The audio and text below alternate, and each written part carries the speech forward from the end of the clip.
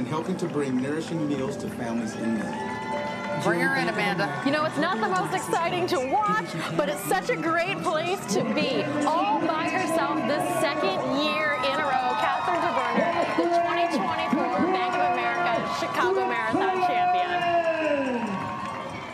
All right. Well, way to go. I mean, and did she break? We don't know just yet if she broke the record. She was on pace to do it with a nice little bonus, as you mentioned. We will find out shortly if she did break the course record. Do we